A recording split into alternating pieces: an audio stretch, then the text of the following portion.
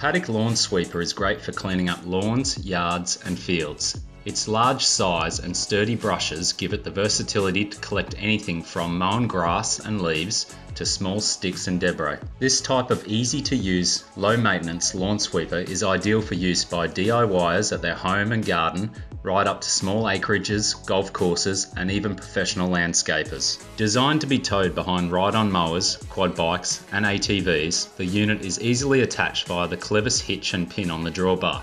Almost all size mowers and quad bikes are capable of towing an implement of this size and weight. When ready, simply actuate the handle and lower the sweeper brushes to the ground and sweep away. Operation is easy as towing it along at a moderate speed that does not exceed 8 km per hour. As the wheels spin, the brushes are driven in the opposite rotation, flinging the leaves and debris into the catcher.